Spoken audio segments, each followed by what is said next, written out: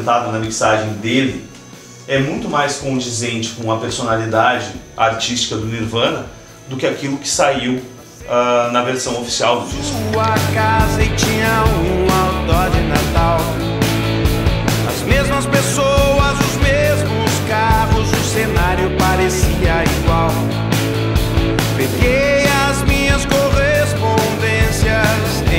em nossa caixa. É mais difícil de tu fazer com que a pressão do ar, do deslocamento do ar, jogue a cápsula para trás com força suficiente para que ela encoste no backplate de trás e crie.